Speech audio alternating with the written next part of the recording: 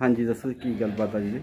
ਅੱਜ ਮੈਂ ਪ੍ਰੈਸ ਰਾਹੀਂ ਦੱਸਣਾ ਚਾਹੁੰਦਾ ਜੋ ਸਾਡੇ ਕੋਲੇ ਪੀੜਤ ਪਰਿਵਾਰ ਜਿਵੇਂ ਪੁਲਿਸ ਤੋਂ ਪੀੜਤ ਪਰਿਵਾਰ ਪੁਲਿਸ ਤੋਂ ਤੰਗ ਪਰੇਸ਼ਾਨ ਹੋਏ ਪੀੜਤ ਪਰਿਵਾਰ ਇਕੱਠੇ ਹੋਏ ਨੇ। ਜਿਵੇਂ ਬਲਵਿੰਦਰ ਸਿੰਘ ਮਾਨਕਪੁਰ ਕਲਰ ਦੀ ਗੱਲ ਕਰ ਲਈਏ ਗੁਰਵੇਜਰ ਧਰਮਗੜ੍ਹ ਦੀ ਗੱਲ ਕਰ ਲਈਏ ਸੋਨੀਆ ਰਾਣੀ ਕੁੰਬੜੇ ਦੀ ਗੱਲ ਕਰ ਲਈਏ ਇਹ ਸਾਰੇ ਆਪਣੇ ਆਪਣੇ ਕੇਸ ਲੈ ਕੇ ਆਏ ਜਿਹਦੇ ਚ ਬਹੁਤ ਹੀ ਗੰਭੀਰ ਸਮੱਸਿਆ ਜਿਹੜੀ ਬਲਵਿੰਦਰ ਸਿੰਘ ਮਾਨਕਪੁਰ ਕਲਰ ਦੀ ਹੈ। ਜਿਵੇਂ ਕਿ ਥਾਣਾ ਖਰੜ ਸਿਟੀ ਥਾਣੇ 'ਚ ਇੱਕ ਏਐਸਆਈ ਸਿਕੰਦਰ ਸਿੰਘ ਤੇ ਐਸਐਚਓ ਸੁਨੀਲ? ਸੁਨੀਲ ਕੁਮਾਰ। ਸੁਨੀਲ ਕੁਮਾਰ ਤੇ ਗੁਰਪ੍ਰਤਾਪ ਸਿੰਘ ਸੀਆਈ ਸਟਾਫ 'ਚ ਜਿਹੜਾ ਉਹਨਾਂ ਨੇ ਤੰਗ ਪਰੇਸ਼ਾਨ ਕੀਤਾ ਹੋਇਆ ਪਰਿਵਾਰ ਅੱਜ ਮੇਰੇ ਕੋਲੇ ਆਇਆ।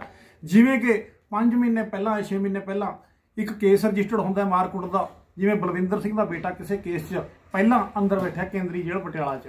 ਉਸ ਦਾ ਵੀ ਨਾਮ ਜਿਹੜਾ ਮਾਰਕਟਾਈ ਵਾਲੇ ਕੇਸ ਦੇ ਵਿੱਚ ਪਾ ਕੇ ਚਲਾਨ ਵੀ ਪੇਸ਼ ਕਰਤਾ ਤੇ ਇਹਦੀ ਘਰਵਾਲੀ ਦਾ ਤੇ ਇਹਦੀ ਨੂੰਹ ਦਾ ਵੀ ਨਾਮ ਜਿਹੜਾ ਵਿੱਚ ਪਾਇਆ ਗਿਆ ਪੂਰੇ ਪਰਿਵਾਰ ਨੂੰ ਤੰਗ ਪਰੇਸ਼ਾਨ ਕਰਿਆ ਗਿਆ। ਜਦੋਂ ਇਹਨੇ ਐਸਐਸਪੀ ਤੱਕ ਪਹੁੰਚ ਕਰੀ ਡੀਐਸਪੀ ਤੱਕ ਪਹੁੰਚ ਕਰੀ, ਕਿਸੇ ਨੇ ਕੋਈ ਸੁਣਾਈ ਨਹੀਂ ਕਰੀ, ਮੁੱਖ ਮੰਤਰੀ ਤੱਕ ਪਹੁੰਚ ਕਰੀ। ਹਾਲਾਂਕਿ ਇੱਥੇ ਤੱਕ ਜਿਹੜੀ ਹੁਣ ਬਣਿਆ ਦੇ ਮੰਤਰੀ ਅਨਮੋਲ ਗਗਨਮਾਨ ਜੀ ਤੇ ਉਹਨਾਂ ਦੇ ਪਿਤਾ ਜੀ ਤੱਕ ਵੀ ਪਹੁੰਚ ਕਰੀ ਹੈ ਤੇ ਉਹਨਾਂ ਨੂੰ ਸਾਰੇ ਕੇਸ ਬਾਰੇ ਦੱਸਿਆ, ਪਰ ਪੁਲਿਸ ਨੇ ਇੱਕ ਵੀ ਜਿਹੜੀ ਗੱਲ ਨਹੀਂ ਮੰਨੀ ਹੈ। ਇਸੇ ਤਰ੍ਹਾਂ ਗੱਲ ਕਰ ਲਈਏ, ਜਦੋਂ ਮੁੰਡਾ ਹੁਣ ਪੈਰੋਲ ਤੇ ਆਉਂਦਾ ਛੁੱਟੀ ਜਾਂਦਾ ਇੱਕ ਮਹੀਨੇ ਦੀ, ਜਾਂ ਡੇਢ ਮਹੀਨੇ ਦੀ, ਤਾਂ ਪੁਲਿਸ ਕਿਵੇਂ ਤੰਗ ਪਰੇਸ਼ਾਨ ਕਰਦੀ ਰਹੀ, ਰੇਡ ਕਰਦੀ ਰਹੀ, ਮਾਨਕਪੁਰ ਕਲਰ ਵੀ, ਖਰੜ ਵੀ ਸਾਰੇ ਉਹਨਾਂ ਨੂੰ ਤੰਗ ਪਰੇਸ਼ਾਨ ਕਰਦੇ ਰਹੇ ਤਾਂ ਕਿ ਮੁੰਡਾ ਜਿਹੜਾ ਆਪਣੀ ਜਾਨ ਚ ਜਾ ਕੇ ਪੀੜਤ ਪਰਿਵਾਰ ਬੈਠੇ ਨੇ ਆਪਣੇ ਕੋਲੇ। ਤੇ ਕਿਸ ਤਰ੍ਹਾਂ ਉਹਨੇ ਜਿਹੜੀ ਹੈ ਲੁੱਟ ਮਚਾਈ ਕੀਤੀ ਹੈ ਇਹ ਤੋਂ ਪੈਸੇ ਵੀ ਲੈ ਗਿਆ। ਪੈਸੇ ਇਹ ਕਰਕੇ ਲੈ ਗਿਆ ਵੀ ਤੁਹਾਡਾ ਰਾਜੀਨਾਮਾ ਹੋ ਰਿਹਾ ਜੀ ਤੁਹਾਨੂੰ ਕੋਈ ਲੋੜ ਨਹੀਂ ਹੈ। ਏਐਸਆਈ ਸਿਕੰਦਰ ਸਿੰਘ ਪੈਸੇ ਵੀ ਲੈ ਗਿਆ। ਤੇ ਜਦੋਂ ਐਸਐਚਓ ਕੋਲ ਗੱਲ ਕਰੀ ਹੈ ਉਹ ਵੀ ਕਹਿੰਦਾ ਜੀ ਤੁਸੀਂ ਏਐਸਆਈ ਨਾਲ ਗੱਲ ਕਰੋ ਤੇ ਉਹੀ ਸਾਰਾ ਕੁਝ ਕਰੂਗਾ ਤੁਹਾਡਾ। ਦੂਸਰੀ ਪਾਰਟੀ ਦੇ ਕੋਈ ਵੀ ਕੋਈ ਐਕਸ਼ਨ ਨਹੀਂ ਕਰਿਆ ਜੀ। ਸਾਡੀ ਇੱਕੋ ਬਨ ਤਰਫਾ ਕਾਰਵਾਈ। ਇੱਕ ਤਰਫਾ ਕਾਰਵਾਈ ਕਰਕੇ ਮੇਰੇ ਪਰਿਵਾਰ ਨੂੰ ਸਾਰਿਆਂ ਨੂੰ ਅਮ, ਇਹ ਇਹ ਚ ਉੱਚੀ ਬੋਲ ਹਾਂ, ਮੇਰੇ ਪਰਿਵਾਰ ਨੂੰ ਹੀ ਸਾਰਿਆਂ ਨੂੰ ਇਹ ਤੇ ਹੀ ਉਹ ਕਾਰਵਾਈ ਕੀਤੀ ਗਈ ਹੈ। ਲੇਕਿਨ ਪਰਮਿੰਦਰ ਸਿੰਘ ਕਰਮਜੀਤ ਸਿੰਘ ਤੇ ਮਨਜੀਤ ਕੌਰ ਤੇ ਬਲਵਿੰਦਰ ਕੌਰ ਚਲਾਨ 'ਚ ਬਿਆਨ ਕਰ ਰਹੇ ਹਨ ਵੀ ਜਿਹੜਾ ਜਸਕਰਨ ਸਿੰਘ ਤੇ ਜਸਕਰਨ ਸਿੰਘ ਦਾ ਭਰਾ ਨੇ ਸਾਡੇ ਤੇ ਹਮਲਾ ਕੀਤਾ ਹੈ। ਲੇਕਿਨ ਉਹ ਇੱਥੇ ਹੈ ਨਹੀਂ ਸੀ ਉਹ ਆਪਣਾ ਜੇਲ੍ਹ 'ਚ ਬੈਠੇ ਹੈ। ਇਹ ਪੁਲਿਸ ਨੇ ਬਿਲਕੁਲ ਕੋਈ ਇਨਕੁਆਇਰੀ ਨਹੀਂ ਕੋਈ ਕੋਈ ਜਾਂਚ ਪੜਤਾਲ ਨਹੀਂ ਕਰੀ। ਪਰਮਿੰਦਰ ਸਿੰਘ ਦੇ ਕੈਮਰੇ ਲੱਗੇ ਹੋਏ ਆ। ਕੋਈ ਕੈਮਰਿਆਂ ਨੂੰ ਚੈੱਕ ਨਹੀਂ ਕੀਤਾ। ਕੋਈ ਮੁਹੱਲੇ 'ਚ ਆ ਕੇ ਕਿਸੇ ਅ, ਮੋਹਤਵਰ ਬੰਦਿਆਂ ਤੋਂ ਕੋਈ ਪੜਤਾਲ ਨਹੀਂ ਕੀਤੀ।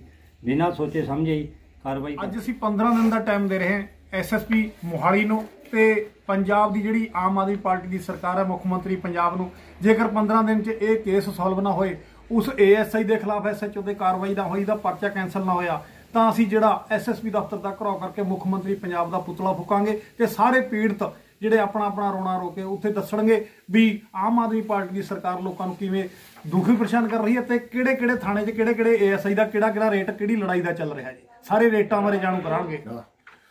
ਬੰਦਾ ਫੜਾਉਣ ਦਾ ਮੇਰਾ ਆਪਣਾ ਨਿੱਜੀ ਕੇਸ ਸੀ ਜਿਹ ਚ ਐਸੀ ਕਮਿਸ਼ਨ ਇੰਡੀਆ ਨਾਲ ਤਰੀਕਾਂ ਦੇ ਜਾ ਰਹੇ ਨੇ।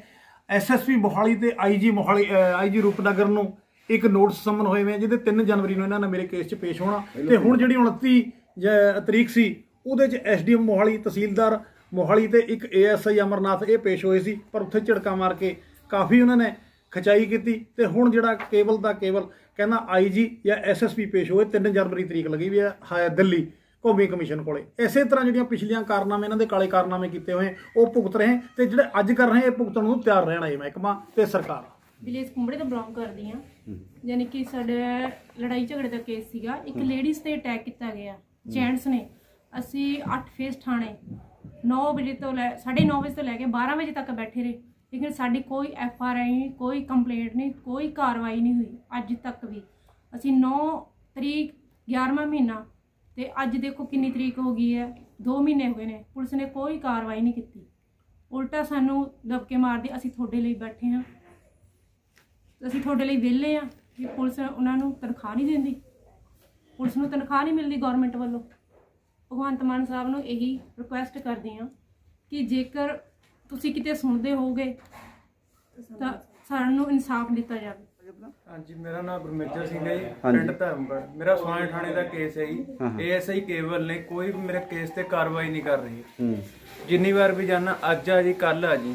ਤੇਰਾ ਚਲਾਨ ਪੇਸ਼ ਕਰ ਦਾਂਗੇ। ਜਿਹੜਾ ਪੀੜਤ ਨਾ ਮੇਰੇ ਮੇਰੇ ਨਾਲ ਤੰਗ ਕਰ ਰਹੇ ਜਿਹੜੇ ਮੈਨੂੰ ਉਹ ਦਬ ਕੇ ਵੀ ਮਾਰਦੇ ਮੈਨੂੰ ਘਰ ਤੋਂ ਬਾਹਰ ਨਿਕਲਣਾ ਬੰਦ ਕਰੇ ਬਈ। ਉਹ ਚਾਰ ਪੰਜ ਜਣੇ ਤੇ ਜਿਹੜਾ ਉਹਨਾਂ ਦਾ ਚਲਾਨ ਪੇਸ਼ ਹੈ ਕਰਨਾ ਹੈ, ਉਹ ਕਰ ਨਹੀਂ ਰਿਹਾ ਹੈ ਅਸੀਂ। ਰੋਜ਼ ਬੁਲਾ ਬੁਲਾ ਕੇ ਮੈਨੂੰ ਬਿਠਾਲ ਕੇ ਭੇਜ ਦਿੰਦਾ ਦੋ ਦਿਨ ਰੁਪਇਆ ਤਿੰਨ ਦਿਨ ਰੁਪਇਆ